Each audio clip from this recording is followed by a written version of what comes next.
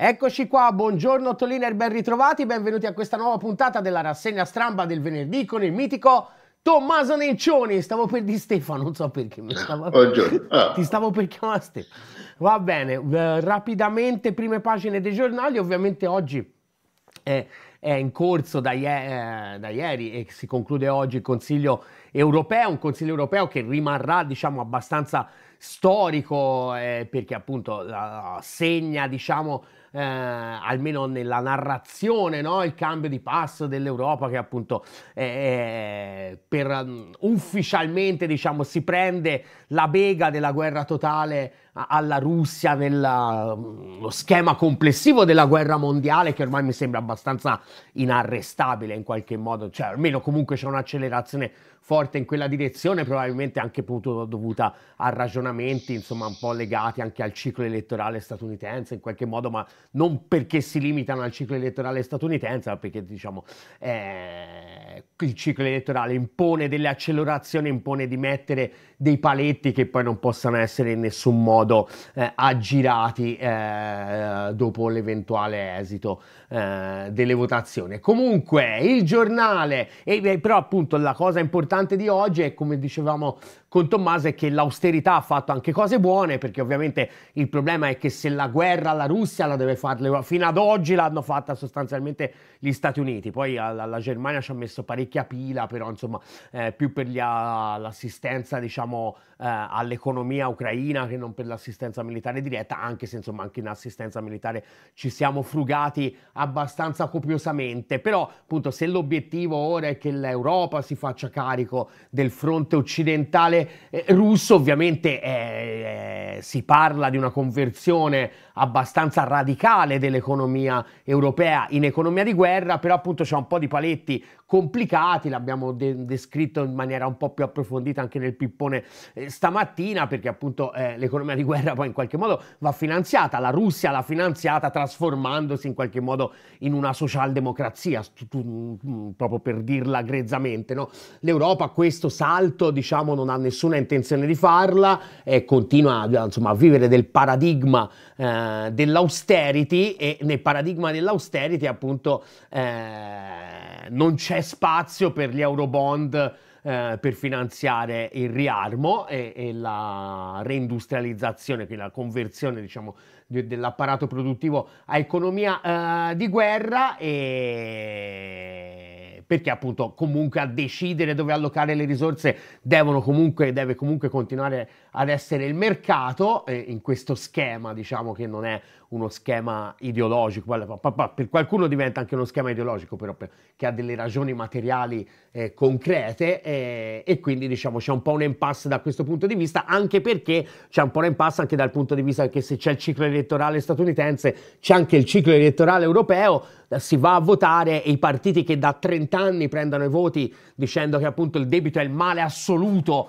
e quindi diciamo vanno a pescare insomma in un pezzo di, di Nord Europa per cui appunto la, la, la, prima preoccupazione è quella di non condividere debito con i paesi del sud pigri, spreconi e fannulloni non è che oggi possano eh, di punto in bianco eh, dire che tutto quello che non era possibile per eh, lo sviluppo, l'industria, il welfare eccetera oggi è possibile per la guerra, quindi c'è un po' questa impasse. Gli austeri in qualche modo sono quelli che frenano questa grossa eh, cambio di paradigma e di narrazione eh, che appunto vuole l'Europa ormai definitivamente in guerra contro la Russia, una guerra lunga, ecco, di lunga durata, non, che non ha nessuno sbocco, diciamo, negoziale, proprio stra- strategicamente, strutturalmente. Ecco, non si pone l'obiettivo di arrivare a uno sbocco negoziale, ma si pone l'obiettivo di protrarre la guerra fino a che, fino a che, uno, dei non, fino a che uno, dei due non, vince.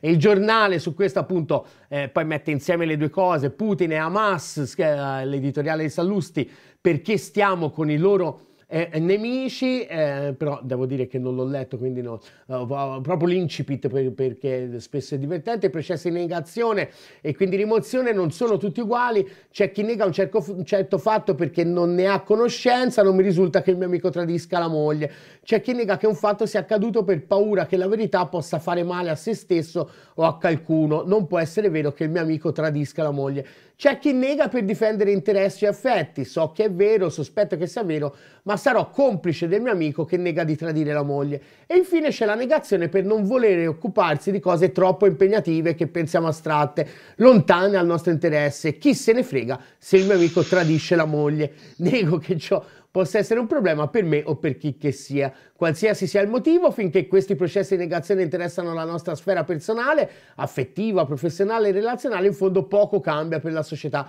Cosa diversa è quando il meccanismo di rimozione della verità investe la sfera pubblica, perché va a inquinare in modo negazionista e quindi pericoloso l'opinione pubblica e di conseguenza il dibattito pubblico e viceversa. No, questo è molto interessante, fino a tanto è breve, è molto interessante perché sostanzialmente è la campagna del giornale per convincere i berlusconiani, che ovviamente non ne vorrebbero mezza di fare la guerra eh, a Putin e di rovinarsi la vita per fare la guerra a Putin, che invece insomma ha pochi cazzi, diciamo. È vero che Putin era amico di Berlusconi, ma ora non rompete tanto i coglioni, bisogna fare la guerra, dovete capire che insomma è nel vostro interesse fare la guerra. È una campagna mediatica molto potente da parte dei repubblicani più centristi, no? Il giornale, vabbè, cioè, nel senso, poi per noi è al limite del nazifascismo, però diciamo nel, nel, nel panorama diciamo distorto della politica attuale è diciamo quello più moderato no? dei tre giornali eh, di riferimento filogovernativi e eh, è una campagna che è, è molto fo- forte anche negli Stati Uniti, no? quando pensiamo alle rotture dentro i repubblicani tra eh, i trampiani e il resto, è di questo, insomma, un pezzo, i repubblicani in generale direbbero, no, Trump anzi a noi ci garba molto, molto più ganzo Trump di Biden, no? dicono le persone di destra, cioè hanno una, un, come dire, un'attrazione fatale no? nei confronti di Putin e però appunto gli devi spiegare che questo non, importa, insomma eh, l'interesse strategico è fargli la guerra fino a che non, non cade il uh, regime del Cremlino. Qualsiasi sia il motivo, uh, ah no, questo l'ho detto, negare che Putin sia un criminale di guerra, che mollare l'Ucraina al suo destino, oltre che cinico, sia rischioso per la sicurezza dell'Europa, negare che Israele sia vittima di Hamas e che l'Islam radicale voglia la fine della nostra società, vuol dire astrarsi dal mondo reale. Che ciò avvenga per ignoranza, per paura delle conseguenze, per partigianeria ideologica o per assoluta indifferenza, poco importa. Siccome la conclusione è identica, Putin e Hamas hanno ragione, sono l'Europa e l'Occidente, tutto, e l'Occidente tutto che sono dalla parte del torto, le varie categorie di negazionisti diventano tra di loro complici di un nemico di un unico disegno. Il mio vicino di casa, favorevole per motivi a suo avviso nobili a boicottare Israele, si ritrova a braccetto con i terroristi di Hamas. Il nostro collega, contrario ad aiutare l'Ucraina a difendersi dall'invasione perché serve la pace, è un formidabile sostegno morale e psicologico ai soldati di Putin che stanno sparando contro donne e bambini ucraini. C'è un principio universale che recita il nemico del mio amico è mio amico a prescindere da chi sia, a meno di voler considerare amici dei criminali di guerra e dei terroristi eh, beh, non, vorrebbe, non dovrebbe essere complicato scegliere di, uh, di, stare dalla parte dei loro uh, nemici. Quindi diciamo questo è importante, cioè è un editoriale un, da sottosviluppo cognitivo, però è importante perché diciamo è la, la battaglia culturale all'interno della destra che è molto titubante, molto più degli elettori del PD che invece insomma sono contenti perché Putin, Putin li fa schifo da tutti, da tutti, i punti di vista, è, più, è, stato più facile, invece sulla destra ci sono state eh, molte resistenze. No? Eh, altra notizia proprio rapidamente uh, su, su cosa che però non approfondiremo, ma in, in futuro magari sì, perché è un tema molto importante, è la guerra tra Stati Uniti e Apple, causa per monopolio illegale, gli USA dichiarano guerra agli iPhone. Questo è molto importante perché in passato abbiamo sottolineato più volte come Apple fosse uno degli strumenti principali, l'abbiamo usato come esempio paradigmatico di come il decoupling non potesse funzionare e di come appunto eh, l'integrazione economica industriale tra Stati Uniti e Cina fosse assolutamente inaggirabile. E in questo senso, diciamo, come oggi, diciamo, anche, anche l'austerity ha fatto cose buone, in passato abbiamo detto anche Apple ha fatto cose buone, nel senso che appunto poneva quel tema lì, no? materiale eh, della della difficoltà del decoupling e quindi diciamo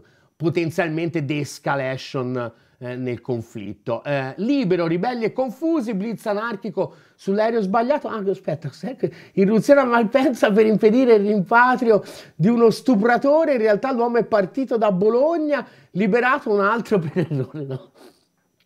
Non l'avevo visto. Comunque poi il libro invece pagine interne, eh, cose molto appunto in scena a Bruxelles il vertice delle armi, ma il fuoco di Berlino abbatte gli eurobond. Michel chiede di mettere l'economia UE sul piede di guerra. Meloni e altri propongono debito comune per finanziare il riarmo, la Germania si oppone, che è appunto diciamo un po' forse il tema più importante oggi insomma da sottolineare. Eh, la verità, così Speranza e il CTS hanno giocato sulla pelle dei ragazzi, l'uomo dell'antimafia mi costrinse a mentire, invece l'incredibile raccordo di Maurizio Tramonte che attacca Giraudo, vabbè sti cazzi, soprattutto la cosa che ci interessa a noi è che appunto ieri il leader Massimo era eh, alla conferenza sulla democrazia in Cina, di cui magari eh, proveremo, insomma, se, se non altro, se, se, non riusciamo prima, sicuramente lunedì durante Mondo Cina eh, ne parliamo approfonditamente. E ha fatto un discorso molto molto condivisibile, molto lucido su come appunto il problema della democrazia l'Occidente se lo deve porre al suo interno e non al suo esterno perché proprio diciamo è finito la, uh, l'utopia diciamo, della realizzazione della democrazia in regimi di capitalismo spietato, eh, ha usato questo termine molto eh, ganzo che è siamo passati da una testa un voto a un dollaro un voto, che è una formula mi sembra molto efficace e molto eh, anche carina, insomma. Ehm, il foglio delira come al solito, cinema con Israele, imprenditori contro l'FD, politici contro l'antisemitismo degli Atenei, i muscoli dell'Occidente in quattro magnifiche storie. Eh, e poi sottolinea il silenzio peloso tra Israele e Biden perché appunto c'è questo aspetto qua, diciamo che una conseguenza positiva della decisione definitiva dell'Europa di, di entrare in guerra contro la Russia è che in qualche modo eh, tutti sono consapevoli che un terzo fronte assolutamente non ci si può permettere. Cioè questo eh, giochino qua, diciamo, esclude, eh, um, cioè deve, deve, deve, trovare un modo di mettere una soluzione che non impegni mezzi e uomini sul medio, sul fronte medio orientale. No? E da qui, insomma, scale, la, la, la, la, presa un po' di posizione eh, degli Stati Uniti un po' più forte nei confronti di Netanyahu, non perché sia contro il genocidio, nel senso il genocidio e la pulizia etnica è alla fine l'unica soluzione, diciamo, compatibile per Israele in qualche modo, no? Alla fine è quello, cioè l'annientamento dell'entità palestinese è il fine ultimo di questo processo qua, però eh, diciamo va fatto in modo diverso per evitare l'escalation regionale soprattutto vista anche la cazzimma appunto di un pezzo di asse di resistenza, in particolar modo Ansar Allah, che io ripeto per me oggi è l'avanguardia mondiale dell'antiimperialismo, proprio per me, io Ansar Allah proprio Ansarallah, Ansarallah, Ansarallah. Eh, difesa UE, tensioni sui fondi, i leader trattano, Meloni l'impegno su Kiev e Gaza, Zelensky non perdete tempo. E quindi appunto tensione sui fondi e questa la cosa. Poi c'è un, un bel delirio di, di Rampini, la nuova febbre degli estremismi eh, la stampa, Russia, Orban spacca l'Europa, il presidente ungherese, primo leader occidentale a congratularsi per il voto. Mezzola, elezioni non libere. E poi c'è appunto il doppio fronte di Giorgia tra l'amico Victor e Ursula, eh, e che l'interpreta la stampa anche un po' come cercare un pochino di non contrapporsi troppo o comunque da, tenersi preparata per un'eventuale ipotesi trampiana negli Stati Uniti, quindi eh, questo potrebbe essere anche interessante, però devo dire non ho approfondito molto. Eh, poi i, la Repubblica, i voti dei clan della, alla destra, non so se l'ha seguita il Nenci, ci vuol dire qualcosa, ma insomma non me ne frega assolutamente un cazzo.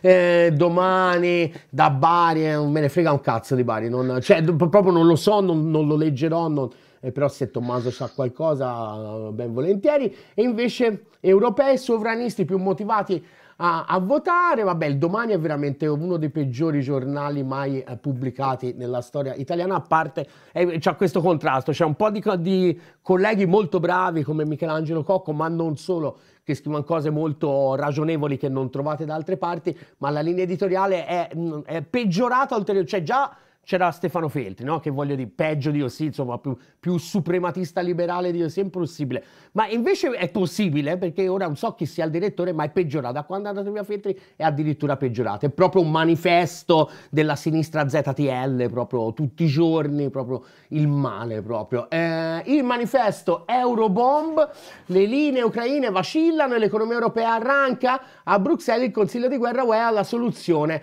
riarmo totale. L'apparato militare industriale ci scommette. I paesi più indebitati come l'Italia si aggrappano agli eurobond per la difesa. USA, primi produttori di armi pronti a un nuovo boom di ordini.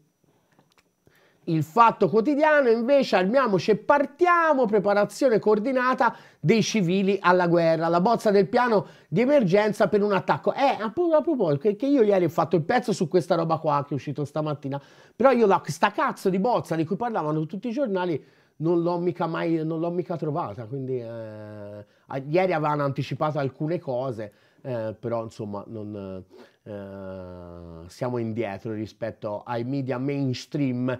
Eh, sole 24 ore invece appunto monopolio smartphone causa USA contro Apple, eh, poi appunto pagamenti in ritardo metà dei ministeri, il 30% dei comuni, bla bla bla, poi c'è il discorso Enel che appunto eh, ha dichiarato un utile netta 6,5 miliardi, insomma eh, profitti record per gli operatori dell'elettricità, chi l'avrebbe mai detto, era veramente una... Un deve essere stato una specie di miracolo e poi appunto borse e oro brindano al taglio dei tassi la Svizzera parte subito e scende all'1,5%. Qui sempre cioè, continua questa un po' ehm, eh, anomalia per cui crescano sia la borsa che l'oro, che di solito sono complementari, no? Eh, ne abbiamo parlato con, con, Alessandro Volpi, qui continua appunto questo rush, anche di solito appunto eh, annuncio di riduzione dei tassi, eh, aumenta la borsa,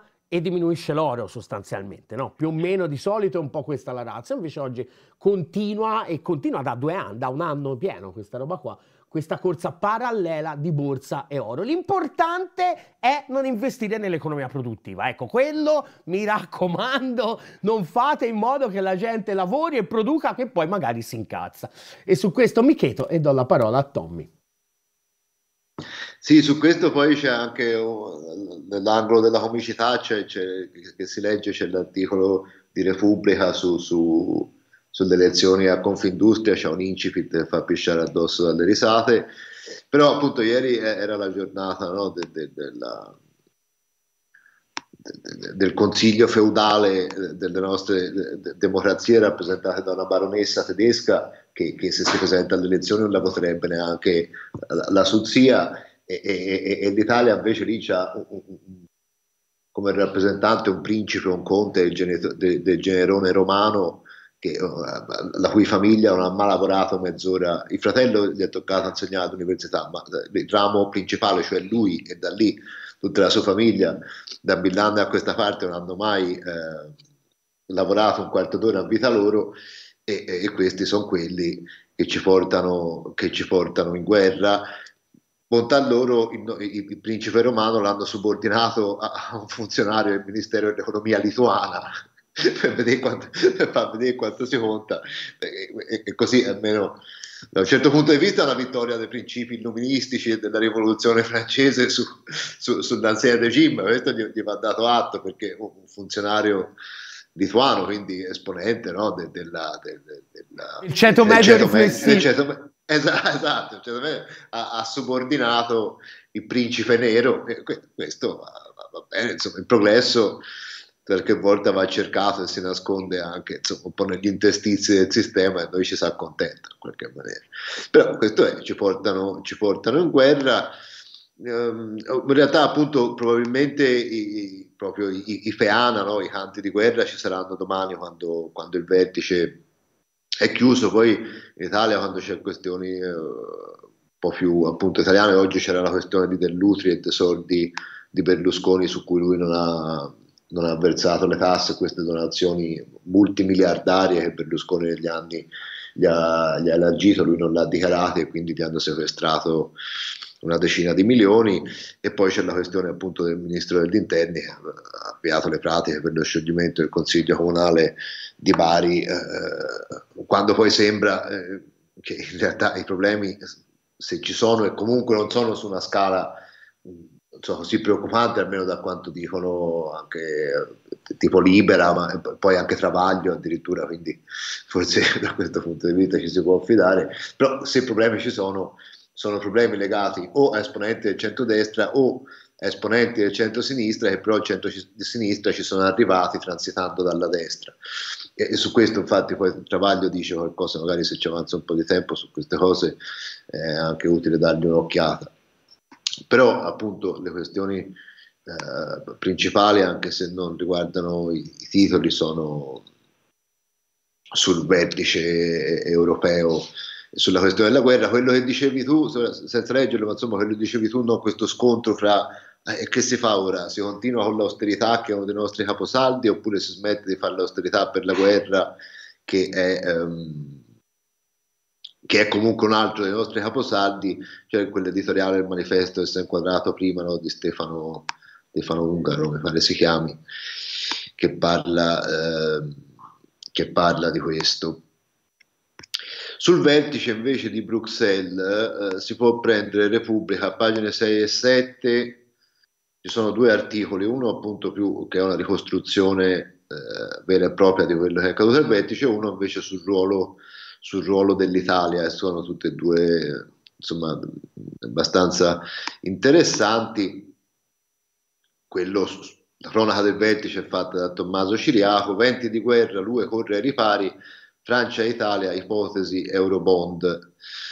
Eh, dice lo spettro di una guerra globale capace di coinvolgere direttamente l'Europa irrompe nel cuore del Consiglio europeo. Per la prima volta da alcuni decenni i leader europei riuniti a Bruxelles discutono di scenari fino a poco tempo fa inimmaginabili. Uno scontro diretto con la Russia sul suolo continentale, un'economia più marcatamente bellica e un riarmo di massimo livello. Lo fanno non come ipotesi di scuola, ma concretamente. Nelle conclusioni scompare e poi riappare anche il passaggio sulla necessità di preparare i civili al rischio di crisi. Questo, questa bozza, che ancora evidentemente non è ultimata e quindi forse è per questo che non viene riprodotta per intero.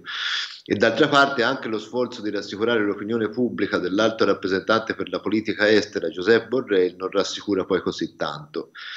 Non bisogna impaurire la gente inutilmente, dice, la guerra non è imminente in Europa. Non è imminente, assicura, e certo non basta a rasserenare gli animi. Nelle stesse ore, eh, d'altronde, l'Istituto americano per lo studio della guerra sottolinea come indicatori finanziari, economici e militari russi suggeriscono che Mosca stia preparando, sì, sarà per un conflitto su larga scala con armi convenzionali con la Nato. Eh, visto uno scenario non imminente, è la previsione, ma probabilmente in un arco temporale più breve di quanto ipotizzato anche di recente.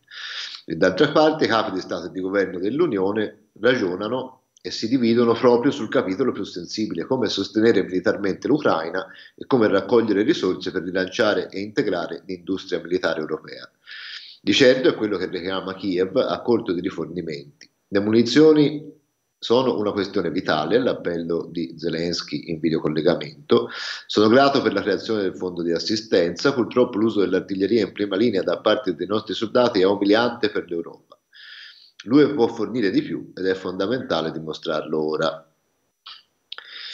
Eh, in coda ci sono anche appunto le, le dichiarazioni di Gentiloni, eh, che dice Macron intanto cerca consenso su una lettera che evoca apertamente tra le diverse opzioni sul tavolo anche l'emissione di Eurobond, idea che divide, gradita a Roma, non in Germania e Olanda, per finanziare la difesa. Non ci siamo ancora, premette Paolo Gentiloni, ma è la direzione giusta. Le altre due strade, un maggiore coinvolgimento della BEI nelle spese militari e l'utilizzo degli extra profitti russi, fanno parte del ventaglio di soluzioni che la Commissione esplorerà entro giugno e questa è un po' la situazione, probabilmente cronache più accurate, anche no, poi editoriali anche un po' più spinti ci saranno, ci saranno domani. Per quanto riguarda il ruolo dell'Italia, invece appunto la pagina successiva, eh, con Orban Claudio Tito, con Orban per avvicinare Trump il piano di emergenza di Meloni. Costretta dal ruolo di governo a curare i rapporti con Biden, la Premier studia la roadmap in caso di ribaltone in America, perché appunto noi sappiamo bene che questo governo dura finché si fa garante del vincolo esterno e del, della politica eh, di guerra e quindi la Meloni sta con Biden finché comanda Biden, poi starà con Trump finché eh, quando governerà Trump di sicuro è che ovviamente non si può permettere di non essere eh, la rappresentante del partito americano in Italia, ma non gli passa neanche per la testa di non esserlo. D'altra parte è la garanzia del fatto che il governo durerà cinque anni perché l'opposizione non è assolutamente in grado di metterla in difficoltà, anche perché metà dell'opposizione è, la stessa cosa da questo punto di vista. Quindi, eh, figuriamoci, comunque si può vedere l'incipit, il piano B di Giorgia Meloni ha un nome e un cognome. Victor Orban, il premier ungherese, che sta diventando sempre più una sorta di clausola di salvaguardia per la premier italiana. Perché se le elezioni europee non andassero sufficientemente bene per il suo partito e soprattutto se Donald Trump vincesse la corsa presidenziale a novembre, lei avrà bisogno di nuove sponde internazionali. Il punto è sempre lo stesso. Tra le cancellerie dell'Unione, la Presidente del Consiglio inizia ad apparire sempre meno affidabile. Il recente vertice tra Macron, Scholz e il polacco Tusk ha disegnato bene i nuovi rapporti di forza e le nuove alleanze all'interno dell'UE. Eh, ma è, è, l'Italia che, che, che, non conta niente, non è la Meloni che non conta niente. La Meloni non conta niente non perché è inaffidabile, perché più affidabile della Meloni in Italia non c'è, almeno non vogliano fare un colpo di Stato e ci voglia mettere, non lo so, un generale eh, preso eh, da, Camp Derby a, a, a fare il Presidente del Consiglio. La questione è che l'Italia è debole e quindi chiunque eh, si trovi per caso a diventare eh, esponente italiano in questi consessi eh, sconta la debolezza del paese. Oh, uno scacchiere che da giugno in poi potrebbe diventare sempre più pericoloso per la destra italiana, che va alla ricerca di un sistema di intese alternative e nella consapevolezza che i sondaggi non prevedono uno, uno stravolgimento degli attuali equilibri del Parlamento europeo. Orban allora è la chiave. I rapporti con il sovranista ungherese si stanno intensificando. Il suo partito entrerà a giugno nell'ECR, i conservatori europei di cui Meloni è presidente. Basta ascoltare Nicola Procaccini, eurodeputato di Fratelli d'Italia, che aspira alla carica di capogruppo o di commissario europeo, per capire l'irresistibile scivolamento sovranista di Fratelli d'Italia, che oggi cerca di demonizzare Orban, lo fa in maniera strumentale per imporre una posizione politica di minoranza. Orban è stato eletto democraticamente ed è un membro dell'UE ovviamente anche un suo punto di vista, ma ha dimostrato di essere compatibile con l'Europa votando a favore del sostegno all'Ucraina. Quindi insomma Fratelli d'Italia che è spiaggiata sulle esigenze della Nato, se evidentemente alla presidenza degli Stati Uniti no, arrivasse un una presidenza meno, eh, che basa la propria strategia meno sul rapporto con l'Europa e sulla Nato magari più eh, centrata sulla questione delle guerre all'Asia, insomma, questi scenari qui, questi si preparano perché appunto hanno capito che la fonte di legittimità eh, che li tiene al governo è quella. Una, una diciamo, narrazione eh, forse meno entusiasta di quanto si muove, di quanto si è mosso nel vertice di Bruxelles, si ha sul fatto quotidiano a pagina 2, la fa eh, Salvatore Cannavò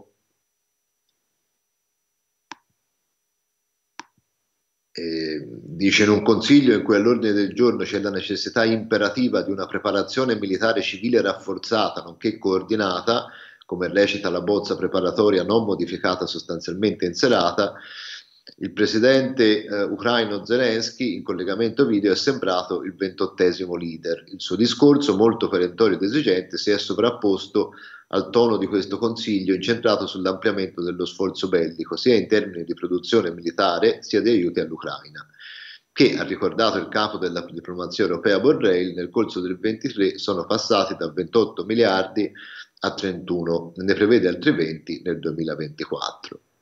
Un consiglio di guerra in cui si è sottolineata la necessità di, una, di ampliare la produzione militare comune, anche ricorrendo agli Eurobond proposta da Macron e secondo indiscrezioni sostenuta da Estonia, Grecia, Cipro, Polonia, Belgio e anche dall'Italia, con la contrarietà dei frugali. Sul tavolo anche, come rivelato dal Financial Times, l'ipotesi di istituire una task force legale che riveda la norma dei trattati che impedisce al bilancio comune di finanziare operazioni che hanno implicazioni militari o di difesa. Unica voce dissonante, a quanto si apprende nel momento in cui scriviamo, in assenza di una dichiarazione ufficiale, il solito Orban che avrebbe bloccato la tranche di 500 milioni di euro dall'Ucraina. La bozza del testo conclusivo, del resto, propone alla Commissione azioni per rafforzare eh, la preparazione e la risposta alle crisi a livello dell'UE e in un approccio che tenga conto di tutti i rischi e di tutta la società in vista di una futura strategia di prontezza. Pronti alla guerra dunque, nonostante alcuni distinguo come quello di Borrell.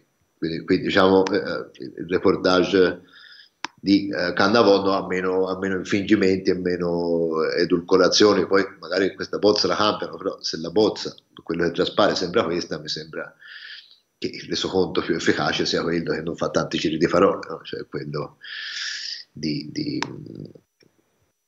di Cannavò.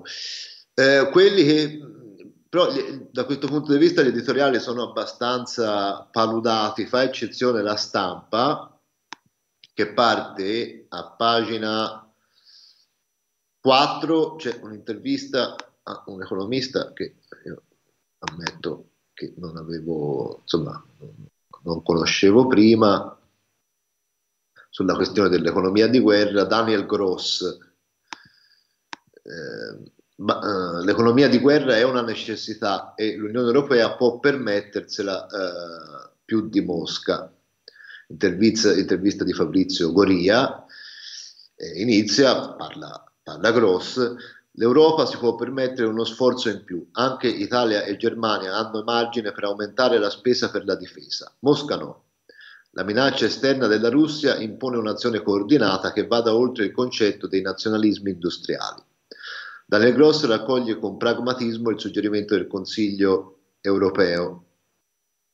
Eh, Charles Michel secondo cui, sarebbe il Presidente del Consiglio europeo, secondo cui l'UE dovrebbe prepararsi alla cosiddetta economia di guerra. L'economista tedesco della Bocconi e del CEPS vede più ostacoli politici che finanziari mh, mm, a incrementare la spesa per la difesa e agire in modo unitario. Le parole di Michel sono un invito che si realizzerà gli inviti aiutano poco, c'è bisogno di più concretezza. A fronte di una minaccia come quella di oggi, c'è bisogno di un compromesso fra Stati per evitare che si difendano i campioni nazionali dell'industria della difesa e dell'aerospazio. Il tutto nella ragionevole speranza che, anche se alcune imprese nazionali perdono e altre guadagnano, netto, al netto tutto il sistema ne tragga eh, vantaggio. Qui probabilmente oltretutto questi già che ci sono, dice, sì, si fa l'economia di guerra, si eh, mette in comune le spese e se oltretutto l'unica industria italiana che funziona, cioè quella per la guerra, sparisce anche quella, meglio ancora così, almeno noi si fa la guerra e in più non si guadagna da quello che c'è da guadagnare con la guerra, questo è tedesco, quindi probabilmente vuole dire questo. Eh, dal punto di vista più diciamo, generale e strategico c'è l'editoriale di Natalie Tocci sulla stampa a pagina 23.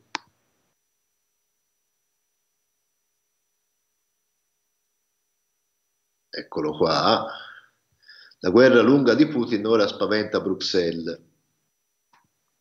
E questo è, insomma, se non mi è sfuggito, a parte sì, quello che dicevi di, di, di Sallusti, è, è, è questo l'unico editoriale che ho trovato che proprio uh, ha una funzione anche di, di, di, di, legittimazione e naturalizzazione della guerra. No?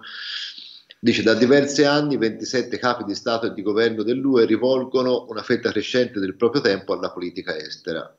Eppure il fatto che il Consiglio europeo riunito ieri e oggi a Bruxelles discuta quasi solo di questioni internazionali indica la gravità della congiuntura strategica che affligge l'Europa. Dall'invasione dell'Ucraina alla minaccia della Russia, dall'allargamento dell'UE ai Balcani alla guerra in Medio Oriente, la natura esistenziale delle sfide è sempre più chiara ai governanti europei. Come reagire è un'altra cosa. Lo scenario non potrebbe essere più fosco. Da mesi l'Ucraina arranca sul fronte. Le difficoltà di Kiev non sono dovute tanto alla riorganizzazione militare all'economia di guerra alla Russia, né al morale degli ucraini o alla scarsità dei soldati al fronte. Il morale degli ucraini è basso, ma questo non significa che si vada affievolendo la volontà di combattere. D'altronde non c'è alternativa a difendere la propria vita e libertà. Il personale militare ucraino scarseggia, ma questo non è dovuto alla mancanza di uomini e donne, intanto ci sono anche le donne potenzialmente reclutabili, quanto semmai alla difficoltà di assicurarne l'addestramento in un paese invaso. Il problema più grave è che mentre la Russia si organizza per la guerra lunga contro l'Occidente, l'Europa non fa altrettanto, mentre i 60 miliardi di dollari di aiuti militari promessi dagli Stati Uniti a Kiev eh, rimangono bloccati dallo speaker della Camera dei rappresentanti USA, il segretario Mike Johnson, per volere indiretto di Trump. È, nato, eh, sì, è noto che Trump voglia vedere una sconfitta dell'Ucraina ed il modo più veloce per far sì che questo accada è di privare Kiev degli aiuti militari per difendersi. Probabilmente i 60 miliardi saranno approvati. Diverse fonti sostengono che sottoporrà il pacchetto al voto dell'Aula, dove quasi certamente passerà, dopo metà di aprile. Ma anche in questo scenario i leader europei sanno che il sostegno non sarà in grado di imprimere una svolta al conflitto. Nella migliore delle ipotesi permetterà all'Ucraina di mantenere le proprie linee difensive. Per fare di più e riportare la pace in Europa servirà ben altro, cioè la guerra mondiale. Dall'utilizzo dei profitti e non solo degli asset russi congelati in Europa, all'acquisizione e all'invio di munizioni e altre armi a Kiev, fino all'aumento della produzione industriale della difesa in Europa. Attorno al tavolo del Consiglio europeo c'è consapevolezza che spetterà sempre più all'Europa assicurare la difesa dell'Ucraina, e certo. E sebbene un attacco russo su altri paesi europei non sia imminente, il rischio che questo accada aumenterebbe esponenzialmente laddove l'Europa dovesse fallire nel sostenere Kiev. Il costo di questo fallimento umano ed economico sarebbe infinitamente maggiore delle briciole donate all'Ucraina sinora. Quindi bisogna, bisogna fare la guerra eh, perché così almeno si evita che la Russia ci invada, questo è come la vede Zatocci. E sì, sostanzialmente sulla questione della guerra, queste mi sembravano le cose più eh, interessanti. Si può passare così velocemente in rassegna. Ah, no, semmai quella cosa sul domani che a te ti fa capo, però questo potrebbe essere interessante, il sondaggio, quella pagina 9 così da vedere al volo, da, da, da segnalare, però insomma una tendenza quantomeno che fa pensare no? che al di là de- delle percentuali che raccoglieranno i partiti, che poi grosso modo saranno, saranno le stesse, ma e, e che poi soprattutto nel, nel, nel pantano no? eh, eh consociativo del Parlamento di Bruxelles non, non, è che cambia tanto se popolari o socialisti prendono qualche rappresentante più o qualche rappresentante meno, però come tendenza dell'opinione pubblica è senz'altro interessante questa cosa che eh, sostanzialmente poi si, chi vuole può approfondire leggendo l'articolo, all'europeo dove c'è in generale un tasso di attenzione alto, però quelli più motivati ad andare a votare nelle elezioni per le europee sono gli elettori a cui l'Unione Europea gli fa schifo. E questo è, è senz'altro un altro dei, dei grandi risultati insomma, raggiunti dalle, dalle classi dirigenti europee, avanti così che ci si leverà delle soddisfazioni. Sulla questione, sulle due questioni, diciamo, politica e giustizia, eh, la Repubblica a, a, pagina 1 e poi continua a pagina 2 c'è un reportage da Bari di Foschini in cui si inquadra un po' la questione, cioè no, che il ministro eh,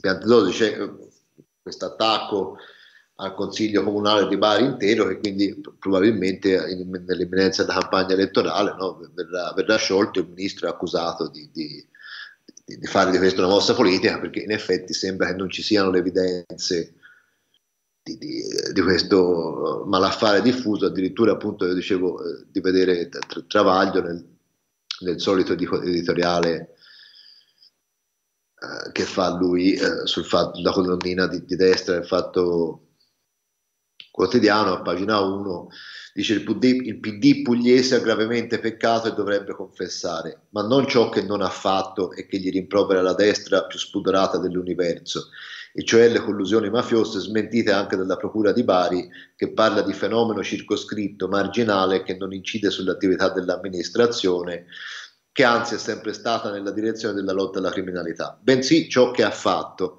ma che la destra si guarda bene da rinfacciargli perché lo pratica sempre anch'essa, il trasformismo. Sia il sindaco De Caro sia il presidente Emiliano hanno imbarcato troppi Gabbana da destra e fra gli imbarcati in comune c'era anche la consigliera finita sotto inchiesta per voto di scambio con i clan. Non sappiamo se sia colpevole o innocente, ma il suo ingresso ha sporcato il PD e ha ripulito, ove mai fosse possibile, la destra, almeno mediaticamente. E quindi quello, questo è quello che è successo. Eh, Travaglio ovviamente poi lo, lo, salta col discorso dell'Utri, no? e quindi col sequestro miliardario che è stato fatto a dell'Utri e alla moglie per queste eh, elargizioni che gli, aveva, che gli, aveva, fatto Berlusconi che lui non aveva dichiarato. Eh, se ne occupa per l'appunto il, il Fatto Quotidiano sempre a pagina 8 con un articolo di Marco Lillo, quindi per, per chi è interessato chi è interessato a questo genere di cose se lo può, se lo può ripescare lì, ovviamente come sempre molto,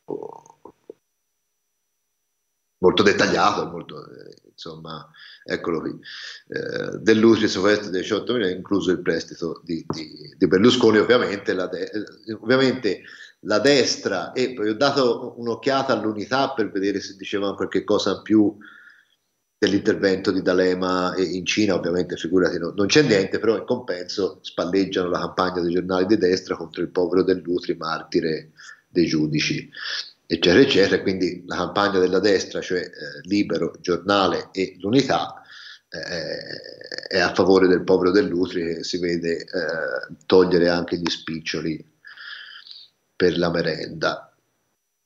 E appunto eh, dell'intervento di D'Alema purtroppo se ne occupano solo i giornali di destra, tu hai letto il libro, io avevo visto il, il giornale a pagina 13, però è, è, tutto ridotto a barzelletta, eh, a battutine, quindi eh, insomma non so nemmeno se vale la pena di segnalarlo, sì ci sono un paio di citazioni però totalmente fuori dal contesto e quindi magari se poi eh, boh, nei prossimi giorni qualche giornale o qualche sito lo riprende, per ora sui giornali di oggi almeno che non mi sia sfuggito non, non ce n'è menzione, se no appunto questi, questi articoli che, che, lasciano il tempo che, che, trovano.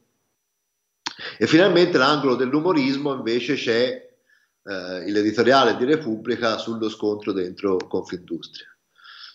Questo è davvero divertente. Parte in prima, però eh, poi sostanzialmente eh, a pagina 24, che è la pagina dei commenti, lo riprende dalla prima pagina, quindi si può andare direttamente lì.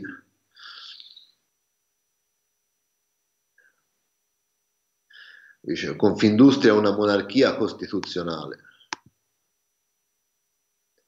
Dice, in un paese come l'Italia, dove oggi non esiste una politica industriale, avere una guida forte e carismatica a capo di Confindustria è fondamentale. Certo, è fondamentale per qualcosa, per devastare quella poca politica industriale che al paese, che al paese gli restano, perché lasciargliela? È fondamentale metterci a capo uno che dà la picconata definitiva a quelle due o tre fabbrichette che ci sono rimaste, perché bisogna giocarseli ovviamente tutti i borsi. Eh. Il suo compito è indicare la strada della crescita e al tempo stesso difendere la libertà economica dalla politica, senza scadere nella difesa degli interessi di parte. Confindustria è una monarchia costituzionale, non è una democrazia plebiscitaria per cui serve un presidente molto autorevole con sotto di lui un corpo molto compatto. Un presidente che sia in grado di servire e di non usare l'associazione per i suoi fini personali, come per esempio fece, che ne so, la Mercegaglia, questa cosa di essere integerrimi, no? E che non abbia nemmeno bisogno della politica. Eh, cioè che non sia ricattabile. Ma ci mancherebbe altro che gli industriali italiani abbiano bisogno della politica. Quanto mai hanno preso lire di incentivi dalle tasche nostre se li sono messi nelle tasche di Monte Carlo oppure se li sono sputtanati a Night, ma ci mancherebbe altro. Oggi è un dato di fatto, oltre altre rappresentanze come Coldiretti hanno un peso maggiore. Nei vari tavoli di lavoro, quando avvengono le consultazioni, Confindustria non è mai invitata poveretti. Il nuovo presidente deve essere in grado di riportare orgoglio in un'associazione che finalmente è stata risanata nei conti e che ora può davvero pensare a prendere posizione per la crescita del paese. È vero che siamo in un momento di crisi della rappresentanza che colpisce tanto i partiti politici quanto i sindacati, E se da una parte abbiamo ministri non autorevoli, non ci dobbiamo aspettare che anche dall'altra parte non ci siano figure carismatiche. Non è una regola e non si può prescindere dal volere il miglior presidente possibile che abbia la capacità di pensare in una dimensione europea e mondiale. Siamo in un periodo storico decisivo in cui dovranno essere riscritte le regole del bilancio europeo, la politica industriale e fiscale comune, in cui si dovrà trattare il mercato unico del lavoro e il mercato dei capitali. Di fronte a una carenza politica generale, Confindustria deve scegliere il candidato che sappia interpretare al meglio queste sfide, costruendo una squadra coesa e competente. Non si può pensare di presidiare Bruxelles con la forza attuale, 10 persone e un direttore, ma deve essere in grado di avere una struttura fisarmonica che si ingrandisca quanto serve quando serve seguire la scrittura di una legge fondamentale per le nostre industrie e il nostro paese, come se non le scrivessero già loro. Spesso accade che queste leggi le subiamo, eh, arriviamo tardi quando sono già in fase avanzata per poi condurre una rincorsa tutta in, saluta, in salita. Non aiuta nemmeno il contesto economico. L'anno è iniziato male con l'Istat che ha certificato che a gennaio ben 13 settori manufatturieri su 16 hanno presentato il segno meno. Siamo tornati ai livelli di novembre con settori come la farmaceutica meno 15%, le estrazioni meno 10%, l'industria del legno meno 8%, l'elettronica meno 7%, le materie plastiche meno 6%, i prodotti chimici meno 5% l'abbigliamento meno 4% in fortissimo calo. Il governo non è in grado di individuare le soluzioni per intraprendere la via della risalita e non ha nemmeno idea di cosa sia una politica industriale. Perché? Perché se la fa fare da questi cialtroni di cui fino ad ora si è detto che senza di loro si muore tutti di fame. Il caso dell'Ilva è emblematico. Ad oggi nessuno sa se il governo Meloni vuole che in Italia venga ancora prodotto l'acciaio a ciclo integrale, quello che serve per costruire treni, veicoli, navi, elettrodomestici, imballaggi e tubi. In questo voto il nuovo presidente di Confindustria dovrebbe avere l'autorevolezza di farsi ascoltare. Non basta chiedere il taglio del cuneo fiscale e gli sgravi per gli investimenti, bisogna ottenerli. Eh certo, dagliene di più. Ha ragione. Oggi molte imprese preferiscono avere un'interlocuzione diretta con il governo piuttosto che passare attraverso la rappresentanza. Tanto per incominciare, un presidente di peso dovrebbe tentare di riportare nell'associazione due dei più importanti gruppi industriali del paese che hanno scelto di stare fuori, Stellantis ed Essilor. Eh, questo, oh, ora si va a letto più, più tranquillo. Sulla politica industriale c'era una cosa interessante, aspetta la recupero del sempre ottimo uh, Dosi sul domani. Uh, vedi che si dice sempre male del domani e poi si cita più volte, ma come ho detto perché appunto c'è questa nuova cosa, cioè, bisogna andare un po' oltre i titoli e leggerlo un po' perché dentro c'è sempre un po' di roba interessante, ma non è qui, dove cazzo è? 8, perché non c'è? Ah sì, è questo. Eh, allora, eh, un governo senza bussola, Ilva e Stellantis, scelte sbagliate. Per l'economista serve un intervento più incisivo dello Stato per difendere interessi strategici. In questi anni i governi hanno garantito aiuti enormi agli Elkan senza ottenere nulla in cambio. Eh, lo intervista Malagutti, che è un, cioè, nel senso una firma abbastanza interessante da seguire. Ripresa, quale ripresa? Propaganda a parte, che è sempre legittima, per carità. Davvero non capisco su che cosa si fondi l'ottimismo del governo sull'andamento della nostra economia. Io vedo piuttosto un rimbalzo dei redditi degli italiani dovuto, che piaccia o no, agli effetti del 110%, effetti che peraltro sono destinati a esaurirsi presto. La ripresa strutturale proprio non c'è stata per il momento. Giovanni Dosi, professore ordinario della Scuola Sant'Anna di Pisa, uno degli studiosi italiani più accreditati a livello internazionale nel campo dell'economia industriale e dell'innovazione tecnologica. È un po' il, uh, il, il, il maestro, diciamo, il riferimento del nostro nostro sempre carissimo amico Roventini che avete visto più volte. Da noi però in effetti eh, eh, Giovanni non l'abbiamo mai invitato, invece sarebbe, sarebbe, da invitare. Il suo ultimo saggio accademico, The Foundation of Complex Evolving Economies, analizza tra l'altro il ruolo dell'innovazione nello sviluppo del capitalismo. Dal suo punto di osservazione, come spiega in questa intervista Dosi, vede un governo, ma non solo quest'ultimo, privo di una rotta precisa per favorire la crescita. La politica industriale semplicemente non c'è, i ministri che dovrebbero occuparsene prendono decisioni che nascono da, un to- da una totale imbarazzante mancanza di visione. Eh, non vado oltre perché va bene, ma insomma eh, il buon Dosi è sempre più che interessante su questi temi. Va bene, non c'è altro, Tommis? No, no, giusto. Allora vi salutiamo, eh, noi ci vediamo domani sera, domenica sera con la bolla e ovviamente parleremo a diritto eh, di guerra, ci dovrebbe ora, non so, forse c'è Stefano, sicuramente a parte, a parte il Dallaglio, eh, Stefano Orsi, ora vediamo un po' se, se si libera Mini qua, qua per commentare la roba lì del Consiglio europeo, forse può essere utile anche avere insomma il suo punto di vista da vecchio guru delle robe militari europee. E niente, buona giornata a tutti, grazie mille Tommy, con Tommy ci vediamo venerdì prossimo, fate a modino, buon weekend. Venerdì prossimo, venerdì prossimo e venerdì santo. Ah, venerdì prossimo no, vi si, no, va, abbond- no, no, no, io... vi si va abbondantemente nel culo, vai, vai, no, no, venerdì santo non si può... No. Bisogna fare un modino, qui bisogna creare questo asse con il Papa, quindi le feste comandate vanno rispettate e celebrate eh, adeguatamente, se no questo asse qui salta prima di subito, è come voler fare una roba con gli ebrei e poi mandarli a lavorare di sabato, non si può fare e quindi eh, bisogna stare buoni. Ok, quindi ci vediamo fra due settimane con Tommy. Ciao a tutti, Ottoliner, buona giornata.